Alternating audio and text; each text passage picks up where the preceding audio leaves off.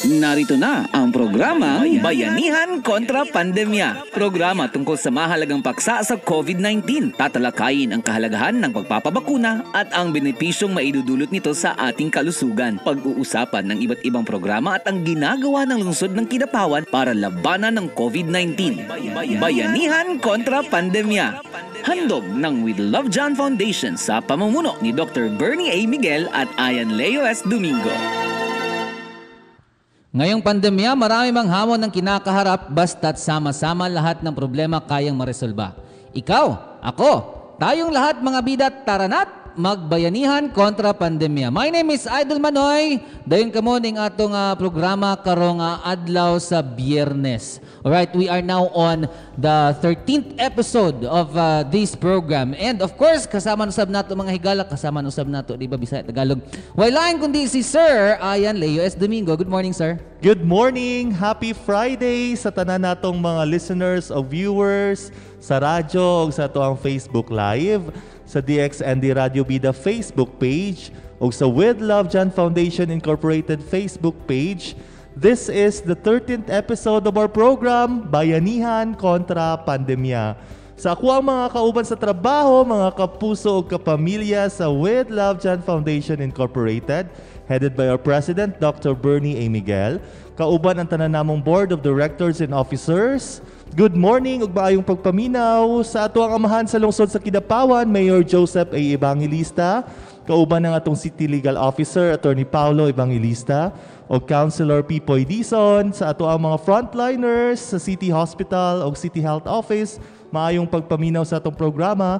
This morning, makauban nato si Dr. Tadeos Avirilia. Good morning, Doc. Good, good morning, Sir Ayan. Good morning, Idol Manoy. Maayong buntag sa atong mga tagapaminaw ug mga watchers diha sa atong FB Live. Maayong buntag.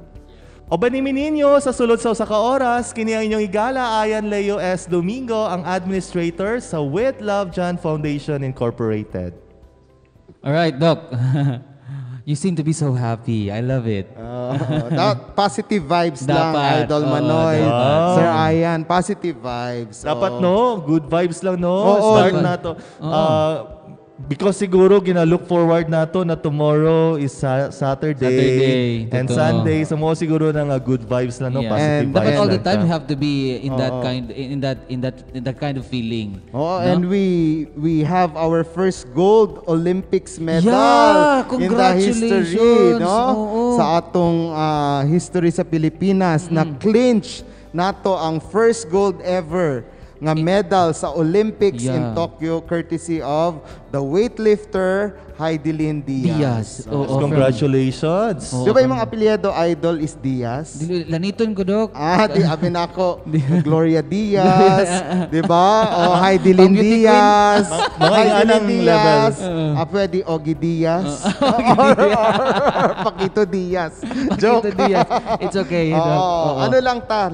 Ah, positive lang. Yeah, Oo. oo. I so much love it. Oo. Ah, kailangan man ito na for us to be able to produce happy hormones. And that can Yes. make us, you know, uh, more healthy, right? Oh, yeah. Ah, ko na na What do you call that hormone? basta kay hormone siya, Doc. Happy hormone. Na siyang hormone, Doc? Endorphins. Endorphins, Oo, tama. The happy hormones. Yeah, oo, kailangan natin yan. Happy ta. Yes, No, Doc. Happy ta. Happy ta always, no? Happy Friday sa tanan. Yes. Okay, Doc. Di na padag- padugayan pa. We already knew Dr. Uh, Tadeo, uh, uh, not very much, but uh, of course, a little bit of uh, his life na hibawan na nato. Doc, um, kanilang, kay, uh, you know, previously, itong bago pa ang COVID-19, Doc, uh, we, uh, you know, our, our medical frontliners, especially the nurses, experience discrimination. In fact, ang uban sa mga nurses na tudok kinapalayas, ginapahawa sa iyang mga Boarding sa mga house. boarding house nila because they care they, they believe that these people carry virus. Kaya nagatrabaho man sila sa hospital. Until now, uh, ikaw uh, uh, as a doctor, do you experience that sa mga nurses nato until now? Napa ba yung mga inguna na klaseng uh, experience? Oh, tama ka, idol, no? So, tung sa unang ah, panahon nga nag-start ang pandemic, syempre ang mga tao ah, afraid, no? Hadlok sila kay this is something new. And in fact, na ako'y barkada nga nurse nga wala gyud siya gipasakay sa sa jeep, muad mag-duty siya, no? Nibaktas in, intawon siya. Pero that was at the start of the pandemic and good thing na atay Bayanihan Ha- Act karon nga naga ah, dili gina ingon nga dapat i-discriminate yun ang mga frontliners. So, good thing medyo karon mas appreciative na ang atong community for uh, to us frontliners. And uh, in line with that, of course, kay naman po yung mga uh, tao dok nga nagahuna-huna is, is- pag pag ikaw you were infected with COVID-19 virus COVID-19 and then um, uh, you recovered from that they're thinking actually nga pagka recovered na ka na, nagka-carry gihap mo kag virus ginakahadlukan actually sila Oo. what can you say about that Ah, maayo nga na brought up na nimo idol. So the moment you have COVID-19 and uh, na naka-recover ka, dili ka na infective, no? So dili na sila dapat kahadlukan. Oo, kay ah, na-control na sa ilang immune system ang virus. So dili na sila makatakod.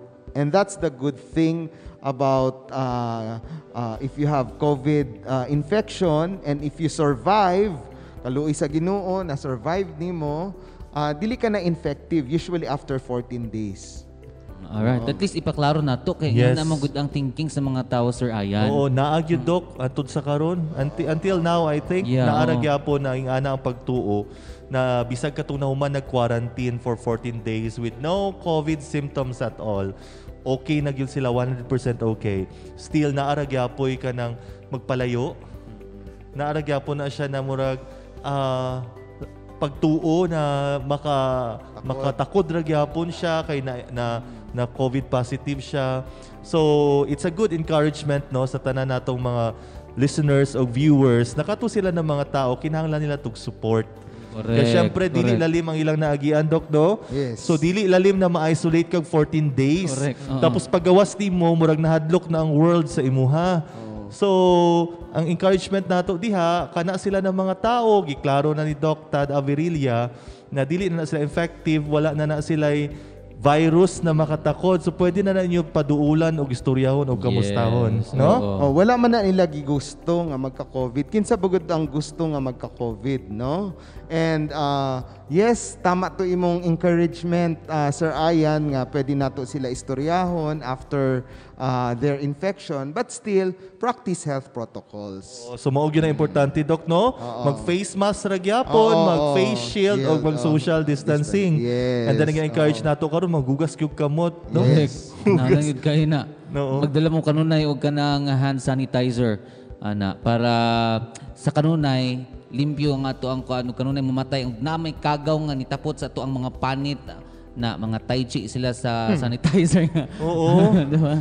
Uh, especially no ang mga public figures halimbawa si Idol Manoy Okay, okay, okay, okay. dagan kayog fans do.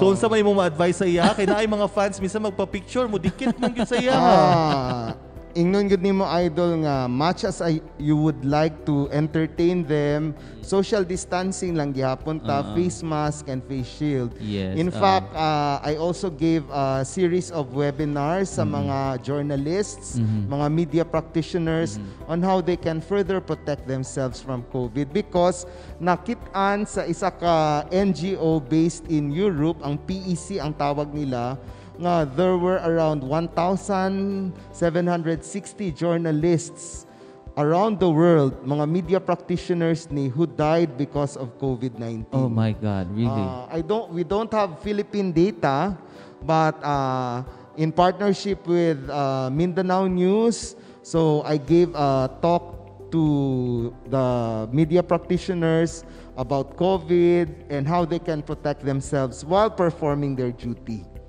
So Ako actually I'm a, I'm I'm I'm a guilty of what I have asked earlier doc kay uh, one of our employees no nag-positive sa COVID.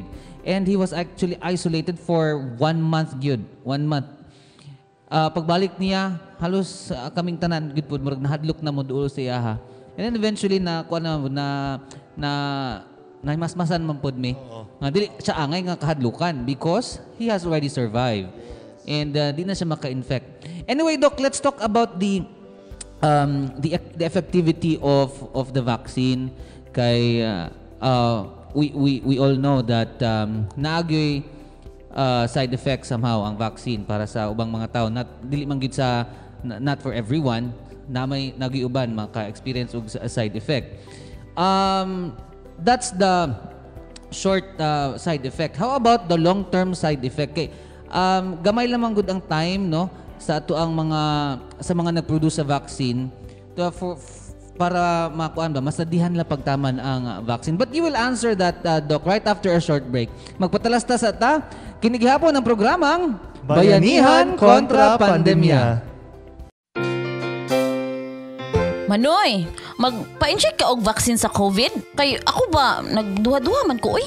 Oh, magduha-duha man ka nga. Makatabang man gay na aron di ta maigo og COVID. Na, kay dagan man daw kuno na siya og side effects. Ses, ay kagol ana day kay di na tugtan sa gobyerno nga gamiton sa tao ug di ka na makahatag og kaayuhan sa katawhan. Di ay ba? Of course, og tanang mga vaccine nga available karon napamatud ana nga epektibo ug safe nga gamiton. So wa kay angay nga ikabalaka. Oh, asa man ka? Mulakaw na kay magpatuslok. Ah, tuslok god. Nagdali naman noon. Paghulat sa mong schedule, oy!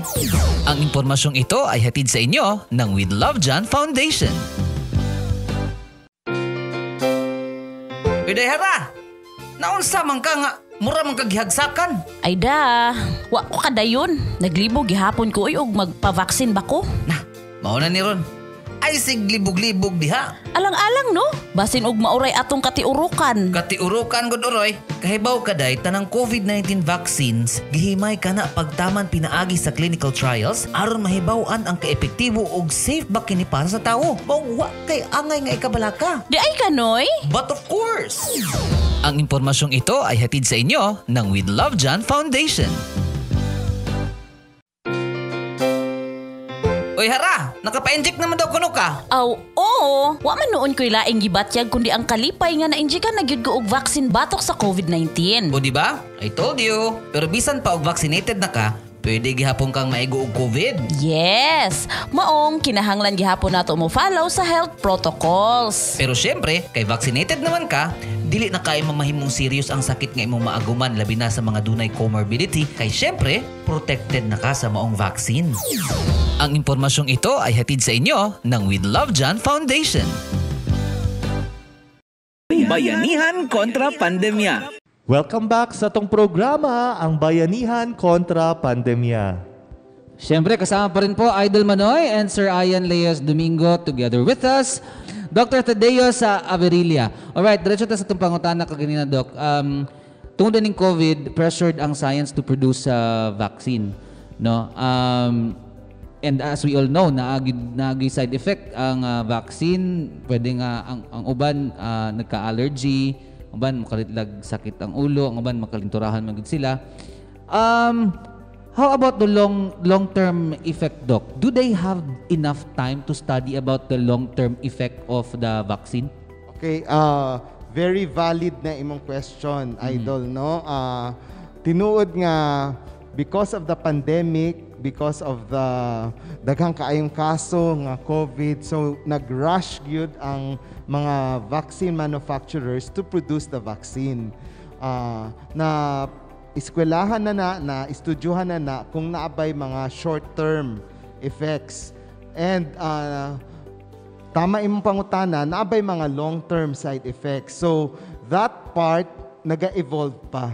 Gina, naga-evolve pa. Pero, ang gusto nang nako i- i-assure sa atong mga viewers nga magtuo nga after two years, maging zombie na sila, dili na tinuod. No? Kay, ang pag-studio sa mga bakuna, habang gina-manufacture ni, nananay ginatawag nga mga red flags no? Ah, nga mugawas during the clinical trial. And during the clinical trial, mahibalan na, na nila kung kaniba ang mga experts, mahibalan na, na nila kung if this is ah, because of the vaccine and if ah, there is a potential that this vaccine will cause long-term side effects. Oh, that's one. So, number two, ang mga platforms nga gigamit para magbuhat og vaccine, like for example, the mRNA vaccine, the vector vaccine, the inactivated vaccines, kung mahinumduman sa atong mga viewers and listeners, ginagamit na na nga platform before no sa different diseases. And uh, so far wala sila nakitaan nga red flags. So uh, if I will answer your question, uh, valid imong question, wala pag yoy uh, long term kay bag-o lang man, but ang mga preliminary studies ana nabuhat na and so far the risk far uh, the benefit far, far outweighs the risk nga ang benepisyo nga makuha nimo sa pagbakuna okay mas okay siya kesa sa risko nga dili ka mabakunahan ug magka-covid ka Kasi yun ang iniisip ng tao, Dok. Kinahunahunag nila ba kung um, is it really safe? Oo. No? And then, if they are going to take the vaccine, is it worth the risk?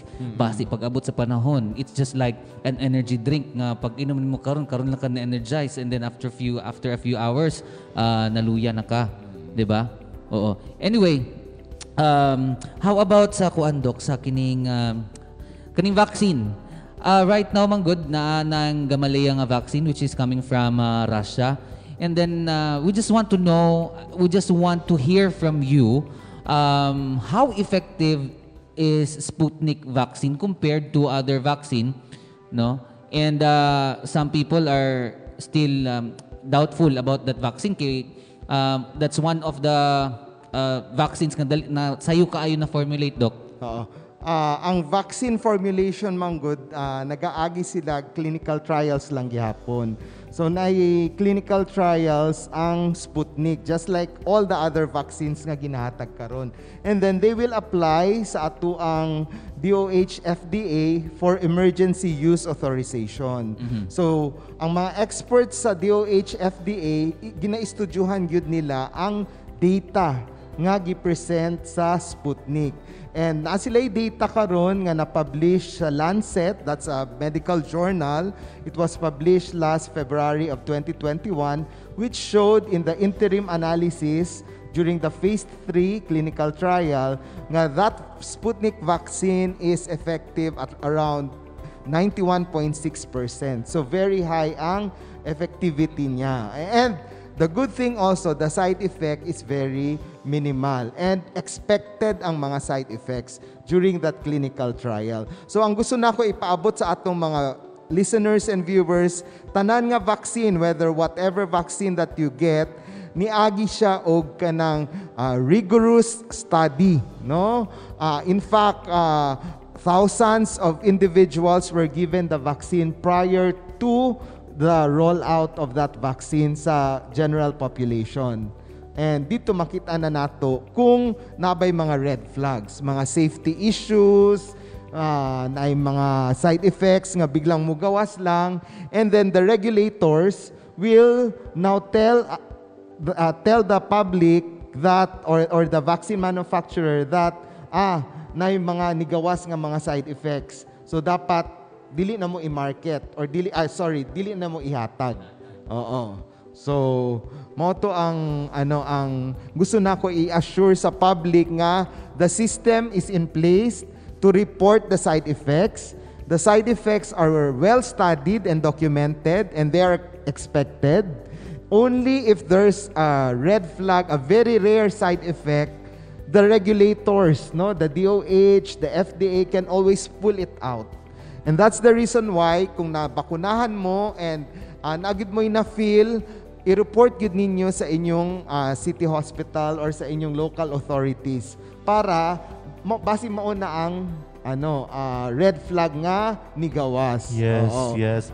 Para maiwasan po do ka ng mga fake news. Yes. Kay naatay mga higala ba, naatay mga listeners, ug naay naapod sa ato mga viewers nga kanang gusto sila mo pili og vaccine kung unsa ang i-inject sa ilaha. Muhulat pa sila kanang schedule na sa ano karon unsa ang vaccine nag nag i-inject sa amua. Kay mamili sila dok. Unsa atong ma-advise na ng mga friends nato na magpili pa kung unsang vaccine ang i-inject sa Okay, ilaha. oo. Ah, ang ako lang maingon kung unsa ang the best vaccine is the best vaccine is the vaccine that is already available in your area that will be injected to you. Dili na ta maghulat, no? Kay kung base sa atong paghulat-hulat nga mas gusto nato ni nga vaccine over vaccine A over vaccine B, base ma-COVID na ta. Correct. Oo, sa atong paghinulat. So kung whatever is available, get it, no? Oo. So at least ka na, no, klaro, no, gikan na yun na kay Doc Tad na kung unsa ang available na vaccine, magpa-vaccine ta. Dili na tamulat na, ay, kay gusto na ako kanina vaccine. Maugi Correct. dapat Doc ang i-inject sa ako. Ah, unya, kay 3 months pa man before mo Moabot. abot. Sumulat Oo. lang kog 3 months, Oh, what if in that span of time nga three months na COVID ka? Correct. Oo. So, ang Diba? gusto po na ako i-highlight is number one, tanan nga vaccines were shown to reduce your risk of developing critical or severe COVID. Nga kinahanglan nimo ma hospitalize or ma-ICU. Oo. So, mo nang kagwapuhan sa mga vaccines. Kaya kung ma-COVID ka, ah, pwede ka, dili ka na ma ah, mabutang sa ICU. Yeah, Oo, oo. nakita na na sa mga studies. Yes, Doc. Oo. Tapos, pwede ba may mag, mangutana sa imo, Doc, kung ah, as a doctor, tapos gina-practice man gyud nimo no, imong Mm. profession, naka-experience na ba ka na mag-handle og patient na kanang na COVID? Yes, yes, I have patients who have COVID and uh, sadly, uh, I also lost patients to COVID.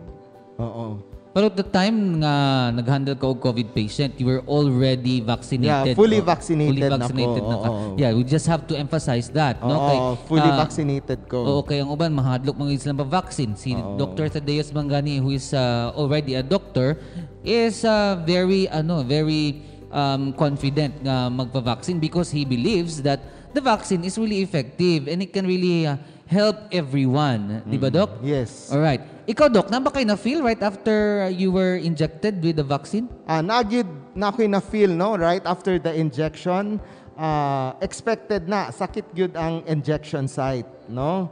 And Kanina yung pagtuslok. Oh, pagtukslok. Oo. Oh, and then, ah, mga one or two days, ah, medyo lain akong lawas. Mhm. Expected man pud na, no? I just drank paracetamol and then on the third day, I was up and was doing my clinics and doing my rounds.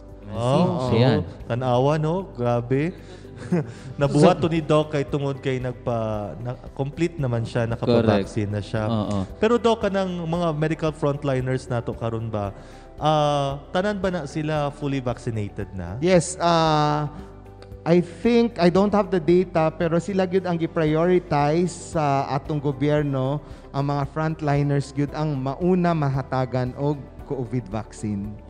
Pero it doesn't mean Doc na dili na, na sila pwede ma-infect na pod og COVID. Ah, that's an interesting topic. Kasi even if you're vaccinated, dili man na pud siya 100% protection. In fact, na tay ginatawag nga break, uh, breakthrough infection, no? Na vaccinate na ka pero nagkaroon ka paghihapon og COVID. And there are a lot of factors. Pwedeng ah, wala gyud nag-develop og immunity ang imong sarili, uh, na mga daghan ang uncontrolled na comorbidities. So pwede gihapon ka matakdan. And that's the reason why even if you're vaccinated, you have to wear face mask, you have to wear face shield, you have to do hand sanitizing, you have to avoid a crowded area. Oo. So that's the reason why even if I'm vaccinated now, naka-face shield, ah, naka-face mask lang gihapon ko talking Oo. to the two of you. Oo, gi brought up ta ko na siya na issue do kay naaman tay mga anti-vaxxers na muingon na ah si Kwan gani na baksinan man to ano nag-positive naman po siya balik. So ingon ah, dili na lang po mi magpa-vaccine. Ah, ah, so ah, dili pud siya 100% nga dili ka magka-COVID. But the good news is kung nabakunahan ka, dili ka na ma-ICU, dili ka mag-severe critical. Nakita na sa mga data o sa mga studies. So sa tanang mga naminaw no, especially katong murag naapay doubt, katong mga ginatawag nila karon na mga anti-vaxxers, katong mga naay problema sa pagpabakuna, mga naga-question sa bakuna, gikan mismo to kay Dr. Avrilia no, pwede pa pwede na ay tendency na ma, ma COVID ka, ka. pero Oo. ang effect sa imuha is dili pareho Mild na. mild na Oo. kumpara sa wala jud kay Uh, bakuna. mura gud tong atong guest uh, last week, last episode nato na nabakunahan siya si Yes, Doc. Cheryl from Cheryl, UK, no? Nabakunahan siya and ah, the good thing kay nabakunahan siya, na COVID gihapon siya, natakdan siya COVID. Pero the good thing was, wala siya na ICU, naalang siya gani sa balay. Oh. And that was recommended by uh, by by the hospital kay they believe nga uh, ma- ma- masurpass niya ang uh, challenge siyang kinabuhi. Now let's talk about sa herd immunity doc. Kasi dati um, tawag dito ang sinasabi we will reach the herd immunity if 70% of the people are or are you know infected with COVID and have um, surpassed no na kaya nakayanan nila and they have survived But right now, it's different. Kasi um, if 70% of the population is infected and uh, were vaccinated, I know, 70% of the population were already uh, vaccinated, we have already reached the, the herd immunity. So, we want to know the difference between the two. Kana sa itong pagbalik dinhi sa programang Bayanihan kontra Pandemya. Manoy, sige ingon nga magpa-vaccine niya ikaw. Nakapa-inject na ba di ay ka? Uy, muhulat mo ko sa kong schedule, oy. Alangan maguna-una ko. Ako kay ginapang-convince pa nako ang akong kapamilya o uban pang mga kaila nga magpabakuna na. Kay mahadlok mapudgod sila. Unsa gyud ilang kahadlukan, no? Dako man gani kay nang tabang aron maprotektahan atong kaugalingon ug ang mga tawo sa atong palibot labi na tong dunay increased risk for severe illness. Lagi, kadtong mga senior citizen, mga bata, na ay sakit sa kasing-kasing, dunay hypertension ug uban pa. Maong importante gyud nga magpabakuna ta aron safe ang tanan. Kampante na pud ta. Ang impormasyong ito ay hatid sa inyo ng We Love John Foundation.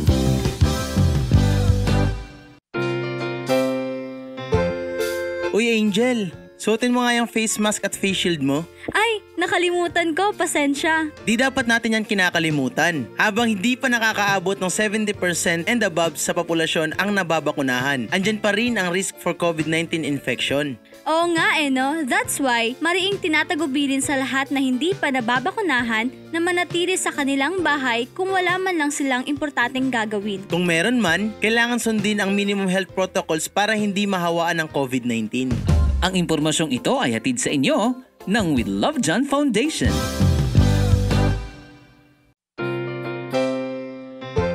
Gimingon naman kog face-to-face classes, oy. Pati akong lulog-lula, di na na ako makita. Anus ah, pa man ni mahuman ning COVID, oy. Mao na siya nga kinahanglan gyud nato mapavaksin. Mao lagi, aron mabalik na ta sa normal, nadugay na natong gikinaham. Kapoy na gyud aning kahimtanga. Mao nang i-grab gyud nato ang chance nga naay vaccine aron makita nato ang atong mga lolo ug lola. Atong mga parente ug uban pang mga kapamilya. Pwede na pud ta makalaag, tanaw og sine, ug mag-travel anywhere. Ug buot natong mabalik ang tanan sa normal, Dapat suportaan gid nato ning mass vaccination. Ang impormasyong ito ay hatid sa inyo ng We Love John Foundation. Bayanihan kontra Pandemya. Nagbabalik ang programa ang Bayanihan kontra Pandemya. Alright, balikan na nato dahil ng question do, doc ganina. Pero uh, before that, ato sa ding i-announce Sir Ayan ang atong winner. Yes! Sa ano sa episode sa episode 11, nga makadaog og 300 pesos worth of load. So uh, daghan sa ato ang mga kagalaan ang nag-participate. But of course, isa Yes. naman ang ato ang pilion as winner, Oo. no? Anyway, you can still uh, ano, you can still become one of our winners. All you need to do is just to share our episode for today. Every episode niya, butang lang ninyo og caption mga higala. Whether Bisaya na siya, Tagalog, Ilonggo, Ma-English, basta kay nindot inyong caption na amoy reflection sa amo ang topic, then you will become, you can become a winner. Congratulations to Jenny Rose Sacares. You are the winner of our Yay! Yes. Kalapkapan, kalapkapan. Yan, ikaw ang panalo. Sabi niya dito, getting vaccinated are is one of the best thing that have ever happened in uh, medicine, especially uh, this uh, time of pandemic. Maging updated sa mga tamang infor- in- in- impormasyon about COVID-19 and if it's uh, vaccination na time, magpabakuna uh, upang mas maging malinaw sa atin kung ano talaga at ano ang benepisyo ng, na ating makukuha once we are vaccinated. Yan. Let's keep ourselves um, updated about COVID-19. Hashtag Bayanihan kontra Pandemya Episode 11. Ayan. Okay, ulito na to idol, no? Kinsa to siya ang ano, ang Si winner. Jenny Rose Sacares. Okay, Ayan. congratulations, Jenny Rose Sacares. Yeah, just wait for our uh, message, no? At nang malaman mo kung uh, paano mo makukuha yung 300 pesos worth of load mo. And now, let's go back sa ito ang pangutana nga nabiling kagay na Doc uh, Thad, no? Um, about uh, the herd immunity. Dati, um, atong nahibawan nga ang herd immunity once uh, 70% of the population or more are infected with uh, COVID-19, eh, we have already reached the, the, the herd immunity. Ha, but right now, ang sinasabi ng herd immunity is um, yung na-reach ng uh, 70, 70% of the population ang uh, na-vaccinate. So what's the difference between the two? Ah, very good question na, Idol Manoy, no? So, herd immunity para sa ato mga listeners and viewers, ah, imagine nato ang isa ka baryo, no? Isa ka baryo. Sa isa ka baryo na isa ka tawo nga infected sa COVID. And then, tanan sila, wala sila nabakunahan. So habang nagakatay-katay, nagakatay-katay ang virus, so naiuban diha nga makasurvive, naiuban nga mamatay. And eventually sa sa sa, sa kadaghan na sa tao sa baryo ang nagkaroon ng infection, nanay ginatawag nga herd immunity. Kay dili na ma-infect ang uban pa. Okay. Ang herd immunity can be achieved either uh, nagi infection and therefore na ay posible nga na ay mamatay or through vaccination. Okay. Ang World Health Organization is rec- is really recommending na ang herd immunity should be achieved through vaccination. Kay para walay mamatay. Dili nato hayaan nga ang isa ka baryo ma-infect mo tanan anyway uh, in the, in the natural course of the of the virus or of the disease eventually namang ma- mabilin sa inyo ha nga mabuhi no pero ang ginaingon sa World He- Health Organization, let us achieve herd immunity because of ethical reasons by vaccination and not by infection. Oo. And I would like to highlight kanang number of people or percentage nga dapat mabakunahan depends on the particular disease or particular virus. Sa measles, you might need around 95% to be immunized para maka-reach nimo ang herd immunity, immune na ang buong community. Other diseases mas lower, so danay mga mathematical models nga ginaistudyohan on how you are able to reach uh, herd immunity.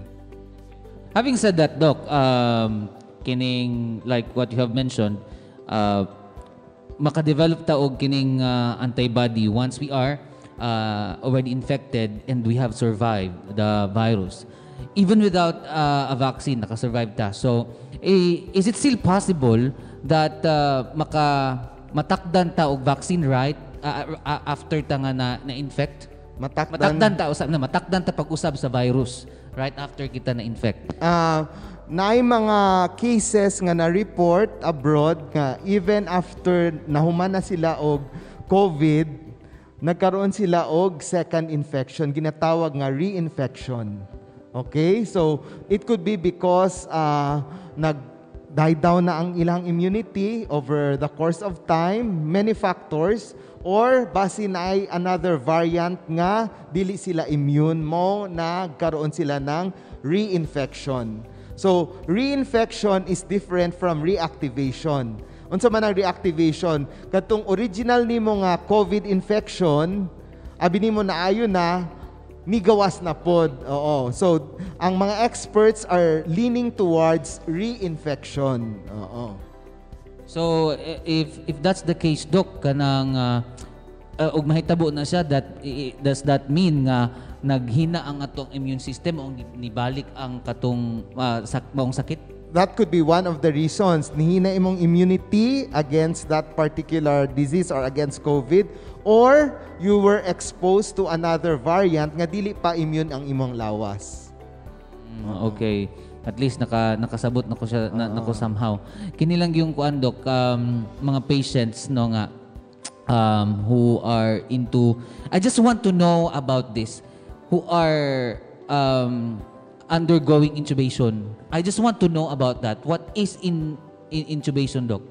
Ah, pag mag-develop ka COVID, nagyoy, di ba? Nagyoy mga uban tawo nga ah, because of their age, mga elderlies na sila, mga seniors na sila, and then because naa sila other comorbidities, naa sila diabetes, asthma, hypertension, ah, immunocompromised sila, na sila uban mga sakit, mag-prone yun sila nga mag-develop into, mag-progress into severe or critical COVID.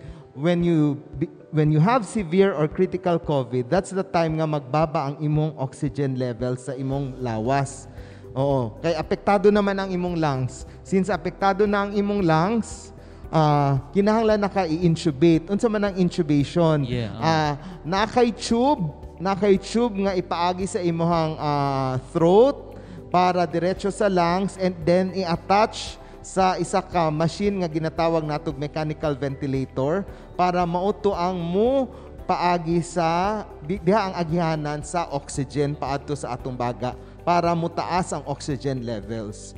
Pero if that happens, ah, severe or critical COVID na imuhang kaso. And ah, unfortunately, pag severe to critical, taas na ang fatality rate. No? Kini bang intubation nga ginatawag, doc? uh, does it cost uh, really big? Uh, the intubation per se is not costly, Oo. but the use of the machine and the use of oxygen is costly. Oo.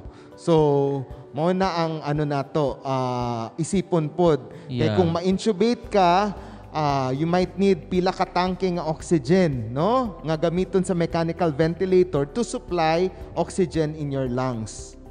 I ask about that, Doc, kasi um, I, I, I, nahibawan gyud ako that it's really expensive. And how about ug ang nagkasakit ang mga pobre, wala gud sila ikabayad sa ingon ana nga nga process, di ba? Oo. Um, is that And I'd, I'd like to add, sorry to cut you, Idol. I'd like Yeah. also to add na ang supply sa oxygen. Yeah. Oo, Oo, kato. Oo. Ku- What if mahutdan tag oxygen, no? Mahutdan tag oxygen, asa ta manguhag oxygen. And that happened in India tung nagkaroon sila ng surge na nahutdan gyud sila oxygen. Yeah. Oh, so ang answer diha magpabakuna gyud ta.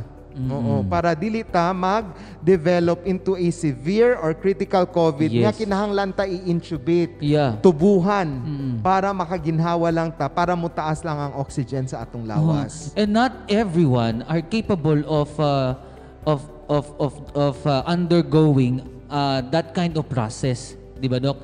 That is why kita kaming kaming mga pobre kay nabilong mo jud mga kapobre uh, kapobrihan no. Murag Oh. wala man sa imong itsura Oh, idol. na jud dato. Na jud kong dato tanawon dok pero pobre ba jud ko dok. Oh, nadato rin ko sa gugma dok. Oh, Oh, wow. gugma sa mga friends na yeah, that's something that I'm so proud of. Anyway, mo to siya. Kita mga pobre as much as possible ug available na ang vaccine magpa-vaccine ta kay dili nato kaya nga moabot sa point nga ah, i-intubate na ta asa sa ta manguha og kwarta no. Anyway, Oh, ah, and I'd like to add idol, dili lang dili lang pud ni sakit sa pobre, sakit pud ni sa mga dato. Dato, oh. Na ako'y mga dato nga pasyente nga naglisod pud og pangita pud og lugar nga mabalhinan kay dili tanan hospitals pwede mag ah, na capability nga mag-handle og COVID nga na-intubate na. Ma, puno na ang CRMC, puno na ang SPMC, asa nimo ibutang?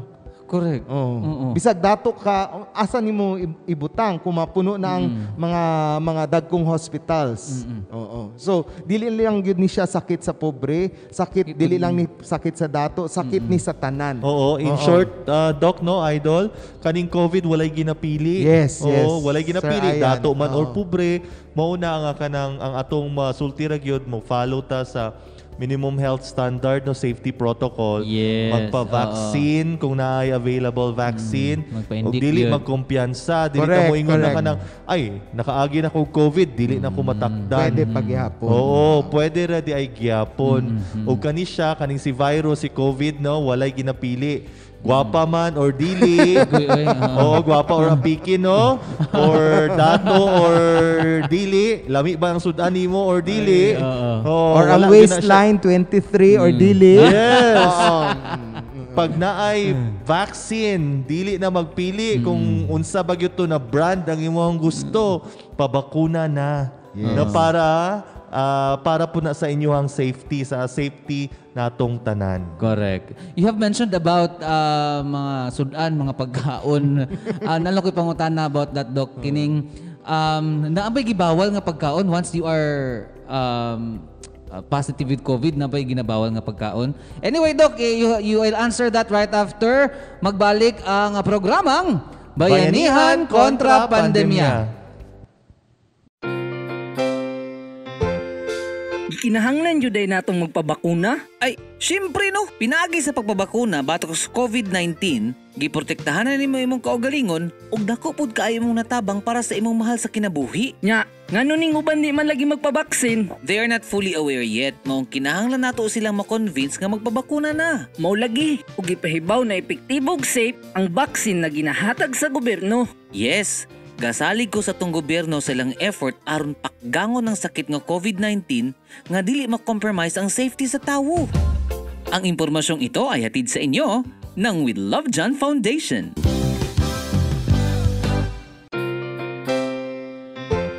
Noy, epektibo ba gining bakuna batok sa COVID? Uy, tanang vaccine nga gitugutan sa gobyerno ug miagi sa EUA masaligan ug epektibo aron malikayan ang pagka-ospital ug ang pagkamatay tungod sa COVID. So, niagi gyud siyang masusim pagtuon. Yes, aron masiguro ang safety ug ang kaepektibo sa datos sa tanang vaccine sa COVID-19 ug nasuta na ang tanang magamit nga datos alang sa matag bakuna makahatag og tataw nga ebidensya nga ang tao dakong makabenepisyo niini. At least, klaro siya, di na ko mahadlok magpabakuna.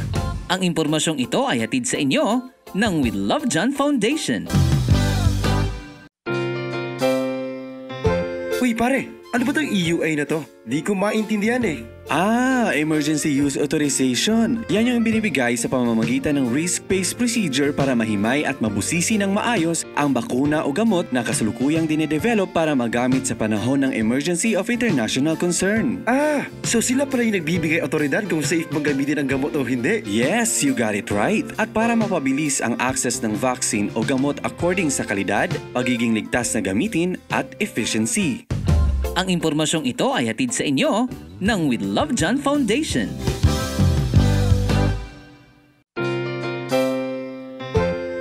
Pare, kailan ka ba magpapabakuna? Ayo kaya, nakakatakot no? Baka maging zombie pa ako. Di ko alam kung anong side effects niyan. Baka dyan pa ako mamamatay eh. Naku, naniniwala ka doon?